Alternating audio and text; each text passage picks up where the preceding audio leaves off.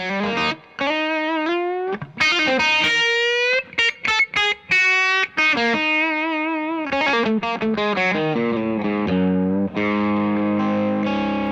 Manche Menschen haben Zeug, viel, viel Zeug. Keller, Dachböden, Garagen voll mit Zeug. Moppezeug, Rollerzeug, Mofazeug, Zeug. Tanks, Lenker, Lampen, Sitzbänke, Vergaser, Verkleidungsteile, Gabelrohre, ganze Motorräder, Felgen, Lenkarmaturen, Lederhosen, Motorradjacken, Helme, Kleinkram und Kurioses. Viel Kurioses. Und für so manche Partnerschaft ist sowas eine echte Zäsur. Moment mal, Zäsur? Zäsur, ist das das Wort an der richtigen Stelle? Das muss ich mal kurz nach. Hier, Zäsur. Zäsur bezeichnet die geschichtswissenschaftlich markanten Einschnitt, also die Grenze zwischen zwei Epochen.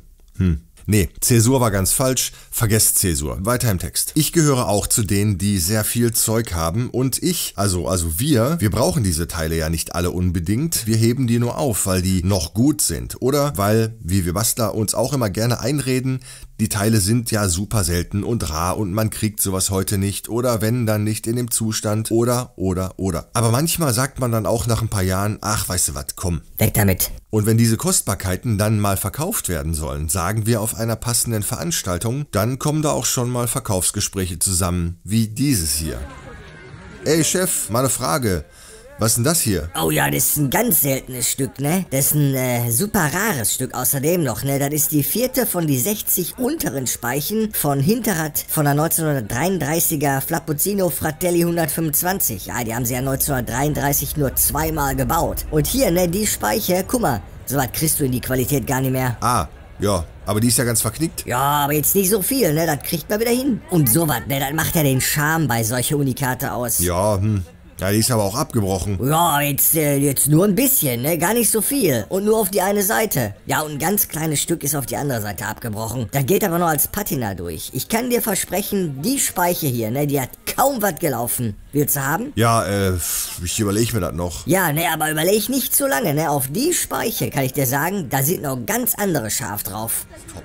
Und genau solche Leute sammeln wir im Kraftwerk regelmäßig zusammen und nennen das dann Moped-Flohmarkt. Und der nächste Flohmarkt, der ist am 6.10. und zwar von 11 bis 17 Uhr. Und wenn ihr bei uns was verkaufen wollt, dann meldet euch mal direkt bei uns. Die Daten und alles, was ihr sonst so braucht, findet ihr unter diesem Video im Begleittext. Ich werde da auch einen großen Stand haben und da zum Beispiel alle meine SR-Teile und meine Vespa-Teile anbieten. Alle Informationen zum Aufbau und zum Abbau findet ihr unter diesem Video in der Videobeschreibung. Und das Team Team vom Kraftwerk kümmert sich dann natürlich kulinarisch um alle, denn unsere Bar ist offen für jeden, der kommt. Es gibt die besten Kaffeespezialitäten, die wir so zu bieten haben.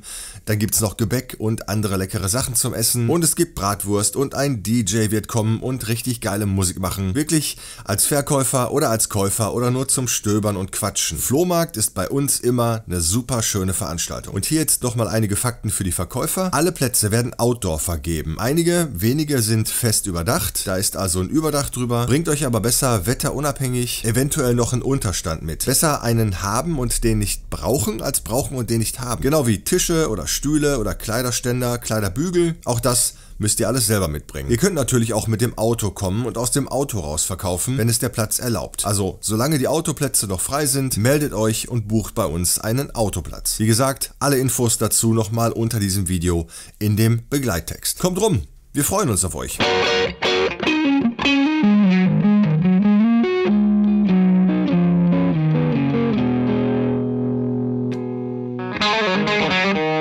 Ach und die Gitarrenmusik hier aus diesem Video, die ist übrigens wie immer von meinem lieben Kumpel Carsten, dem Gitarrennerd. Der hat's ziemlich drauf und seinen Gitarrenkanal String Theory, den findet ihr auch nochmal verlinkt unten unter diesem Video in dem Begleittext. Ey, du da hinten, was ist denn jetzt hier mit die Speiche? Willst du die noch haben? Äh, nee, ich hab's mir anders überlegt, danke. Ach, dann schmeiß ich die jetzt weg.